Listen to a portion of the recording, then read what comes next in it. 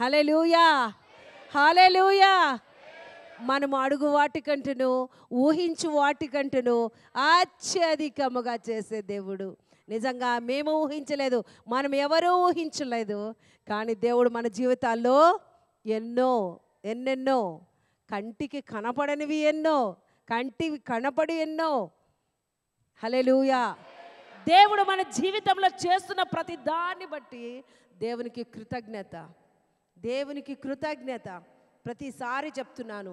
మీ హృదయములో వాక్యమును జమ వేసుకుంటున్నట్లయితే వాక్యమును నింపుకున్నట్లయితే నీ కష్టములోను నీ బాధలోను నీ ఇరుకుల్లోను ఇబ్బందులోను సమస్యల్లోనూ కూడా ఆ వాక్యము నిన్ను బలపరుస్తూ ఉంటుంది. హలెలుయా హలెలుయా చూడండి బలహీనతలు వస్తాయి రోగాలు వస్తాయి ఇరుకులు వస్తాయి ఇబ్బందులు వస్తాయి సమస్యలన్నీ మనుషులకే వస్తాయి. హలేలుయా హలేలుయా ఆ సమస్యలు వచ్చినప్పుడు కూడా ఏదో గుర్తుపట్టుకోవాలండి దేవుణ్ణి. నా దేవుడు నా దేవుడు నాకు సహాయం చేయగలడు. నా దేవుడు నన్ను రక్షించాడు. నా దేవుడు ఎప్పుడైతే నువ్వు నా దేవుడు అంటావో నీ జీవితంలో అద్భుత కార్యంలో చేస్తాడో వాక్యము విన్నప్పుడు ఆ వాక్యము దేవుడని గుర్తుపెట్టండి. నీ బాధగా ఉందా? వాక్యం నీతో మాట్లాడాలి. ఏదో వింటున్నాము పోతున్నాము వస్తున్నాము కూర్చుంటున్నాం దీని వలన ప్రయోజనము ఉండదు. వాక్యాన్ని గట్టిగా పట్టుకోండి. హలే లూయా హలే లూయా దేవుణ్ణి పట్టుకోండి. శక్తి కలిగిన దేవుడు. బలవంతుడైన దేవుడు.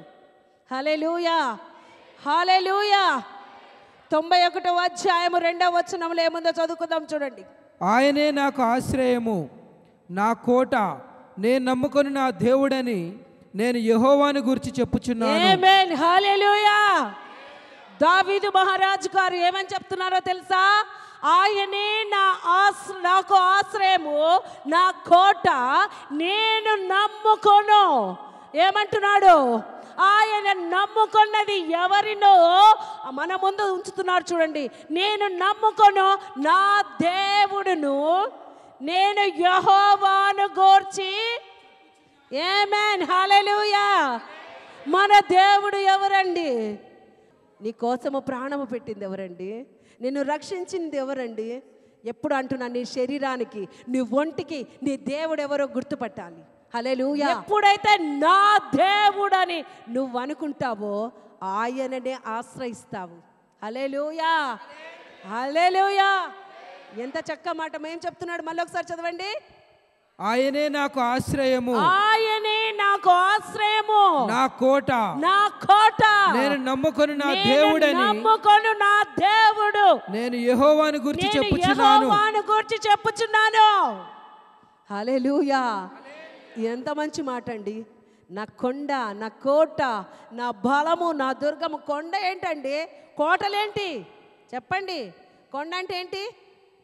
ఆ? ఆయన నీకు కొండగా ఉంటాడంట కోటగా ఉంటాడంట. కోటలో ఎవరుంటారమ్మా? ఎవరుంటారు? హాలేలుయా ఎంత మంచి మాటలండి. ఏదో చదువుకుంటున్నాము వింటున్నాం పోతున్నాం అబ్బా అయిపోయింది. అది కాదు. వాక్యము వినటము కాదు కానీ వాక్యానుసారమైన జీవితంలో నీవు జీవిస్తే దేవుడు అద్భుతాలు మన జీవితంలో ఎందుకు చేయడండి? చేస్తాడా? మంచి ఒక మాట చదువుకున్నప్పుడు చక్కగా చెప్పారు కదా యవనస్తులు దేని వల్ల తమ నడతను శుద్ధి చేసుకుంటారండి? వాక్యం చేతనే కదా. దావిది గారు ఏమన్నారు? నీ వాక్యమే నన్ను బ్రతికిస్తుందయ్యా. నా పాదలలో నాకు నెమ్మది కలుగ చేస్తుంది. నీ వాక్యమే నా పాదములకు దీపము నా త్రోవకు వెలుగై ఉన్నది అని ఎలా చెప్పగలిగాడు? ఆయన అనుభవించాడు కాబట్టి ఆయన అలాగ నడిచాడు కాబట్టి ఆ మాటలు చెప్పగలిగాడు. హలెలూయా హలెలూయా నిజమండి.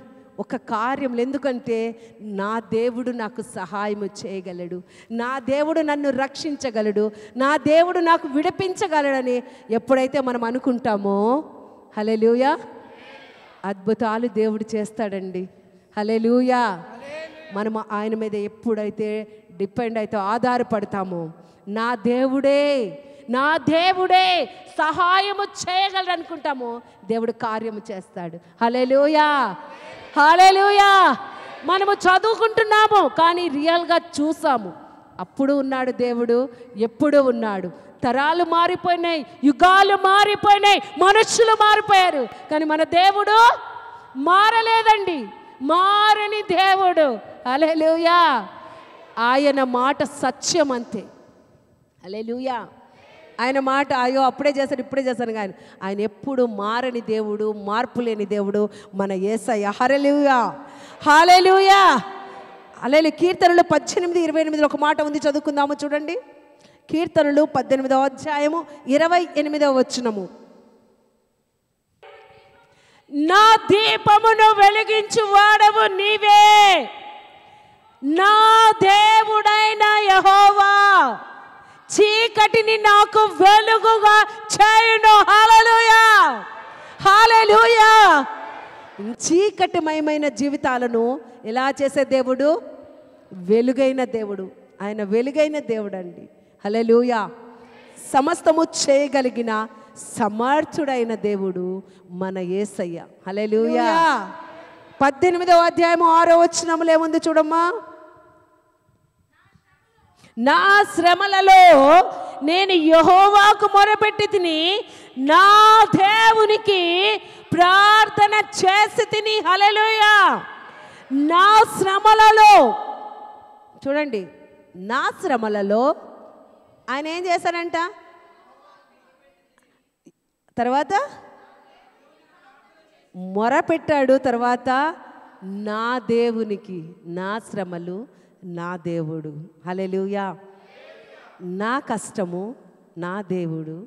నా బలహీనత నా దేవుడు. అట్లా నా బలహీనతనే నా దేవుడే స్వస్థపరచగలడు. హలెలుయా హలెలుయా ఎప్పుడైతే దేవునికి అప్పచెప్పేస్తామో దేవుడి కార్యం చేస్తాడు. విడుదల ఇస్తాడు. ఇస్తాడా? ఇవ్వగలడా? ఇవ్వగలిగిన ఎవరాయన? ఎవరాయన? నా దేవుడు. హాలెలూయా! నా దేవుడు నా శ్రమల నుంచే తప్పించగలడు. నాకున్న సమస్య నుంచి తప్పించగలడు. నా సమస్యకు పరిష్కారము చేయగలడు. గొప్ప దేవుడు గొప్ప కార్యములు చేస్తారని మనం ఎప్పుడైతే నమ్ముతామో నా దేవుడే నాకు సహాయము చేయగలరని అనుకుంటామో దేవుడు కార్యం చేస్తాడు. అలెలుయా ఆయన ప్రాణము పెట్టి నిన్ను కొన్నాడు. ఎందుకంటే నువ్వు ఆయన కుమారుడు ఆయన కుమార్తెవు. హలెలుయా హలెలుయా నా దేవుడికి నేను మొరపెడతాను. నాకు సహాయం వస్తుంది. హలెలుయా ఎంత మంచి దేవుడు అండి మన దేవుడు. ఎన్నిసార్లు వాక్యము వింటున్నారు. వాక్యాన్ని గట్టిగా పట్టుకోండి. వాక్యమును వినండి. వాక్యానుసారంగా నడవండి జీవించండి. మీ మార్గములను సరళము చేస్తాడు. అల్ప విశ్వాసముతో ఉండమాకండి. విశ్వాసం వైపు. దేవుని వైపు చూస్తే చాలు. నమ్మండి దేవుడు కార్యం చేస్తాడు. దేవుడు విడుదల ఇస్తాడు. ఈరోజు ఏమని చెప్తున్నాడు? నీకు మళ్ళీ చదువుకుందాం చూడు. ఆయనే నాకు ఆశ్రయము నా కోట నేను నమ్ముకొను నా దేవుడని నేను యహోవాను గూర్చి చెప్పుచున్నాను. నా దేవుడు నా శ్రమలలో నాకు తోడై ఉన్నాడు. నేను యహోవాకు మొరపెట్టగా ఆయన నా ప్రార్థన ఆలకించే దేవుడు నాకు సహాయం చేసే దేవుడు. హలెలుయా హాలెలుయా హాలెలుయా నిజమండి ఎంత గొప్ప దేవుడు. ఎంత గొప్ప కార్యములు చేసే దేవుడు. గొప్ప దేవుడు గొప్ప కార్యములు చేసే దేవుడు మిమ్మల్ని మీ కుటుంబాలని దీవించునుగాక. ఆమెన్.